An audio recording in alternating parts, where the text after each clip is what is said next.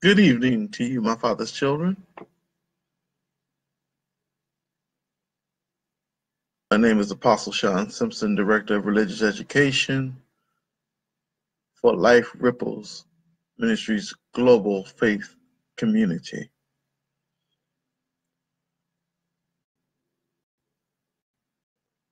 On tonight, on this evening, excuse me, we want to talk about something that is plaguing the church, and that is the problem of cessationism. What cessationism is and what cessationism is not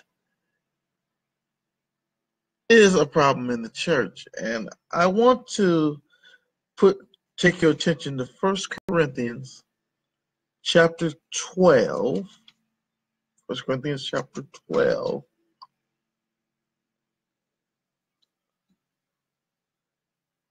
Verse uh, 27 uh, through 31.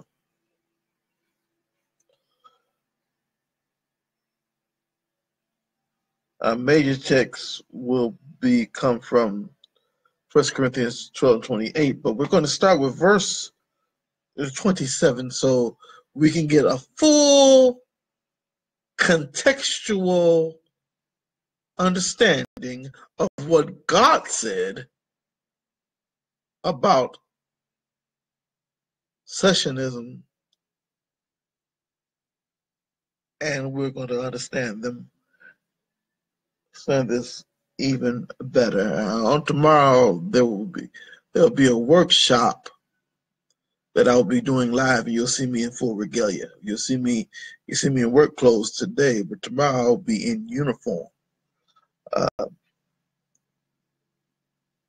now let us make ready with prayer. Father, as we approach your word, as always, we approach it reverently and respectfully. In the name of Jesus. And I thank God Lord, for you, Lord God, for giving me this anointing, that the truth of the gospel will remain with those that hear.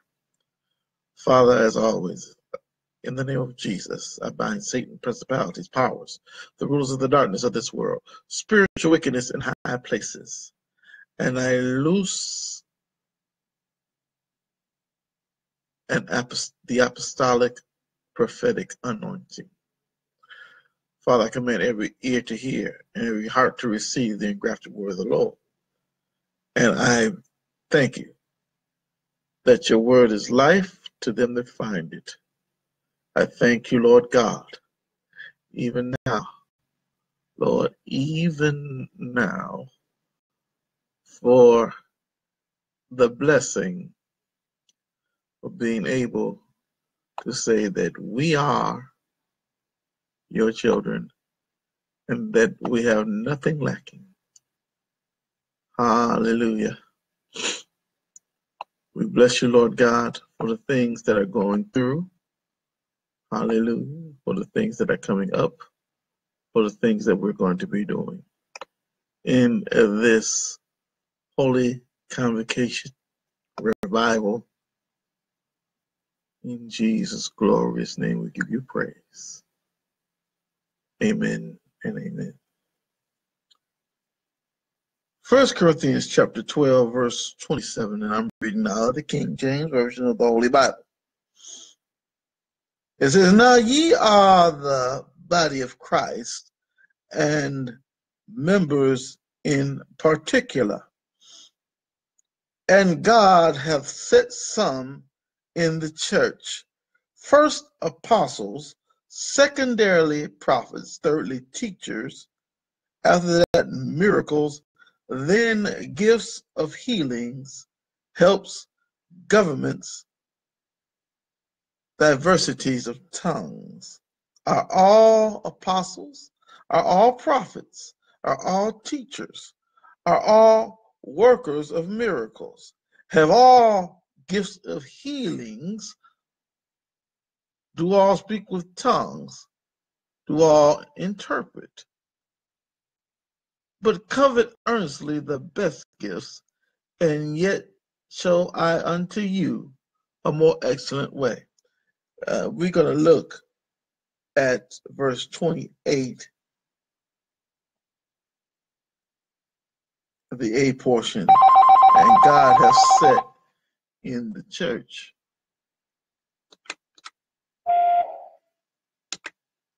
And God has set in the church. And God has set in the church.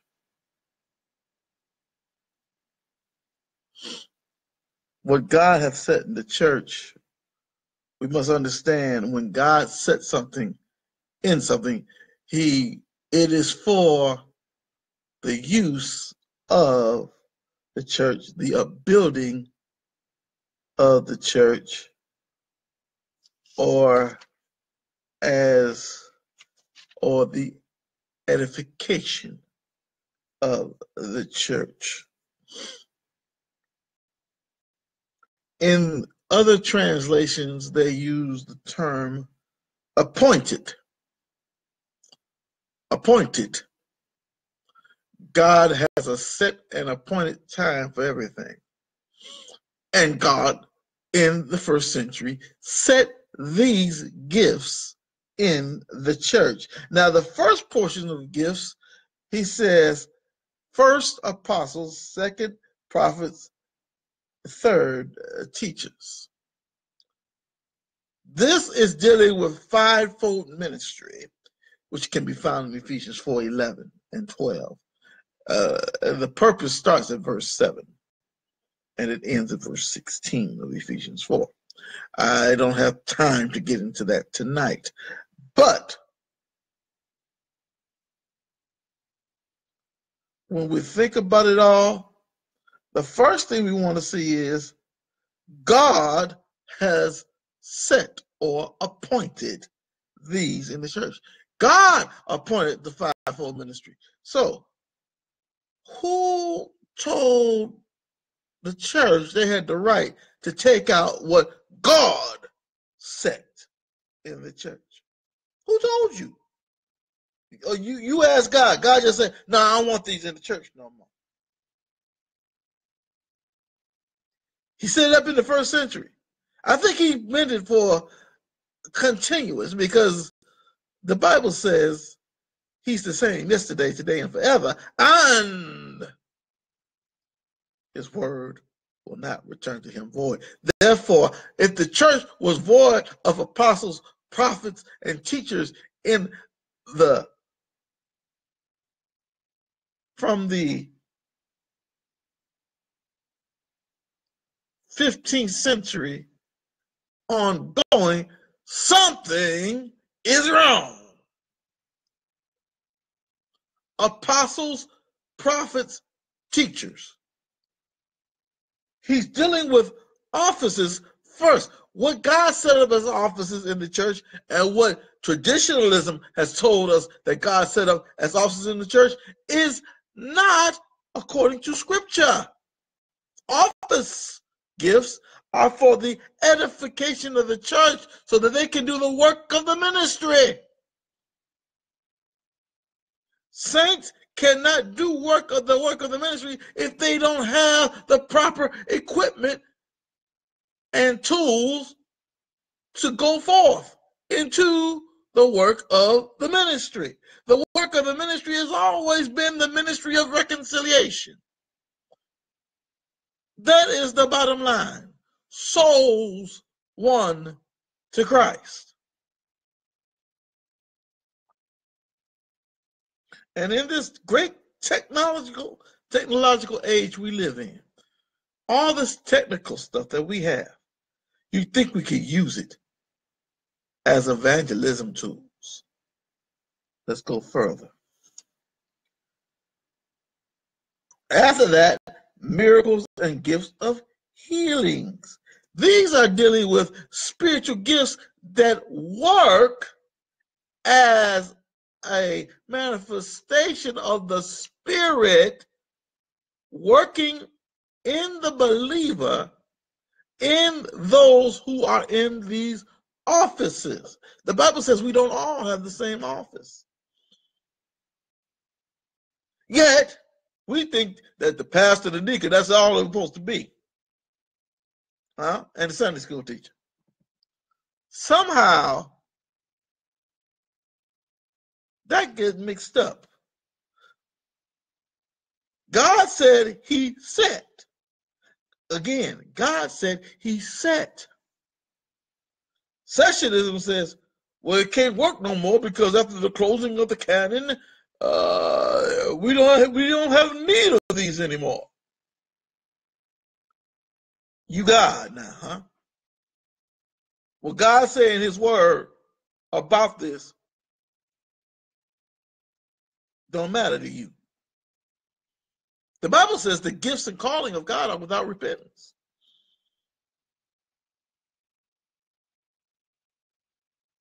So, Mr. Theologian, Mr. Apologist,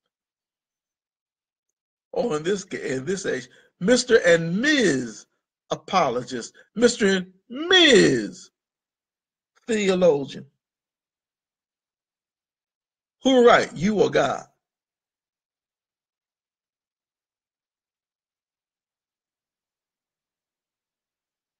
I feel the Holy Ghost. Hallelujah.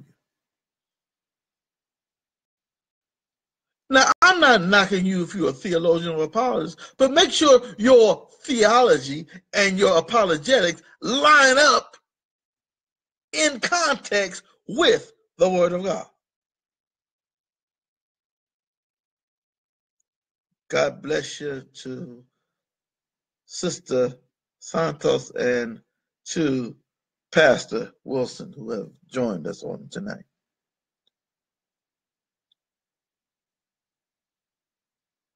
Now let's go a little bit further. Then gifts of then helps. Helps. Helps. That's for those who like to do stuff on the outside. Deacons, this is where you fall in. Helps. Trustees, that's where you fall in. Helps.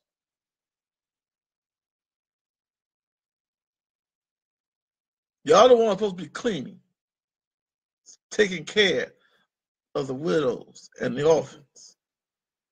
This is what the benevolence, mission benevolence fund is for. This is what the mission of missionary and benevolent society are for. Pastors Aid Society, that's what you for. You who operate in that, that gift of helps are supposed to do that. Governments administrations. We're back to the fivefold ministry. They're talking about the pastor. The pastor is the one who administers in the church, not the deacon, not the trustee. God wanted pastors to oversee his church, to administer in his church, to govern in the church. Deacons are leaders, yes, but you are like non-commissioned officers, in, like in the military. You are not officers, like from general on down to second lieutenant. Second lieutenant, you don't fall in that category. Officers are in the government. Helps is non-commissioned. Oh, oh, yeah. The deacon is not a commissioned office. No, deacons got voted in. Pastors didn't. So those of you who think you're supposed to vote your pastor in, hire your pastor. No, God says, I give you pastors. I never read where you hire a pastor.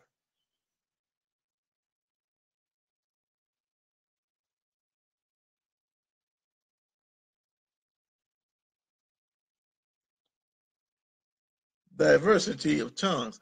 This is when the gift of tongues is in operation. The gift of tongues is in operation to edify the church. This is public use of the gift of tongues. Public use of the gift of tongues with interpretation equals edification of the church, which is equal to prophecy.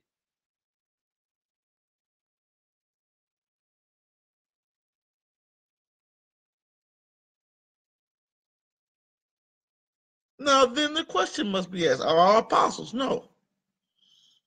Are all prophets? Are all teachers? Are all workers of miracles? The answer is no.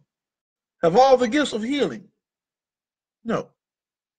And notice it's plural there. Do all speak with tongues? No. Do all interpret? Again, the obvious answer is no. So God is asking rhetorical questions of his church. Now, what he put in the church, set in the church, appointed in the church, the appointments of God, or the appointments of Yeshua HaMashiach to my Messianic Jewish friends.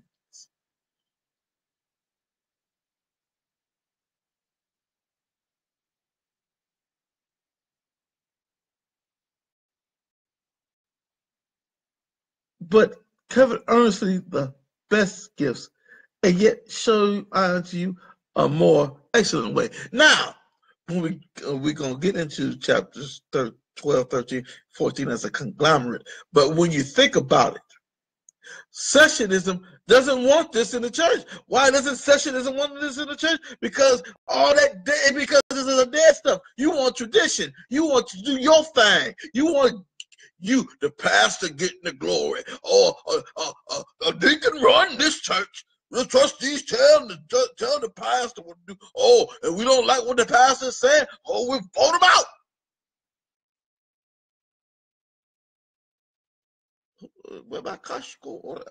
Who told you? Who gave you the right to do it? Where in the Bible does it say you vote your pastor in? And then vote him out if you don't like what he's saying. If he's not doing anything immoral, Huh? He's not being a crook. He's not robbing you. Then uh what's your problem? What's your hang up? Oh, you want to be in charge. Now, as a black man, I can say this. Black Baptist churches who vote their pastors in, you're out of order and I'm an ordained Baptist preacher, so I can say that. And as apostle of the Lord, of to the church, to the New Testament church, that's who I. That's what. That's where my apostleship comes in. And here's the prophetic thing, portion coming because I'm warning you. The reason you're falling apart, the reason you're only getting 20 and 30 members is somebody forgot to tell y'all how to evangelize. So if pastor, if all you're doing is going in there, preaching on Sunday morning, see you, might see you on Wednesday evening for Bible class,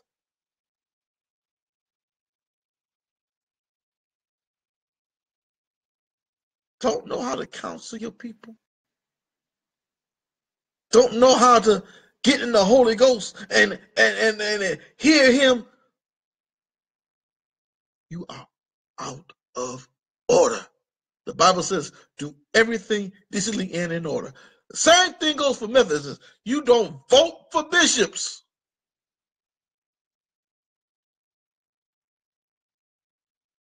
He that desire the office of a bishop desire a good work. It's got to be in your heart to do bishopric. It's got to be in your heart to do apostolic work. It's got to be in your heart to do prophetic works. It's got to be in your heart to do pastoral work. It's got to be in your heart to do evangelistic work. It's got to be in your heart to do teaching. Otherwise, what are you doing but gaining money? You are nothing but a hireling. You are hireling the Bible says the shepherd takes, feeds the flock of God. That is your your job. Your job is to feed and nurture the flock of God. You're the under shepherd. You're the overseer of the church. You're supposed to see the saints are fed and that they grow and are uplifted, not that they are indoctrinated to a particular denomination's doctrine. What the Bible got to say about it should be your final answer. Cessationism wants none of this. Cessationism wants everything its way. Cessationism is like Burger King. Have it your way. Now, I'm not saying my cessationist brothers are not saved. God forbid. Because I have met some of the most loving, caring men and women of God in cessationist churches. They will feed you. They will help you financially if you are in need.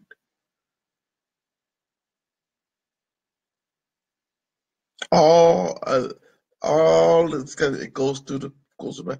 Pastor got to say, look, we need this, this, that, and the third, and you get this, that, and the third.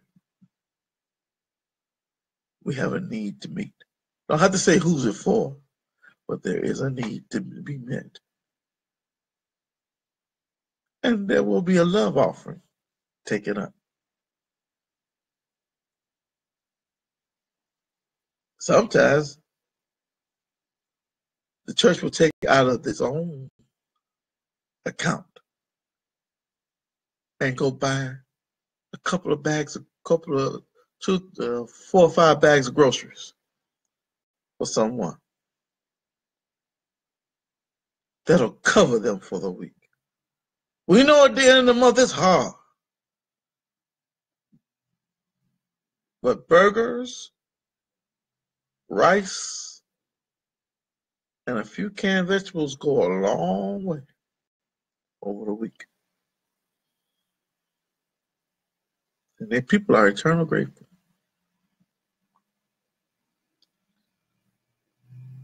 Saints, we got to get it together. To my cessationist brothers and sisters, I am a continuist. Yet I continue to preach in Baptist churches. Why? Because I, I love you. I continue to preach wherever God sends me. And I teach wherever God sends me.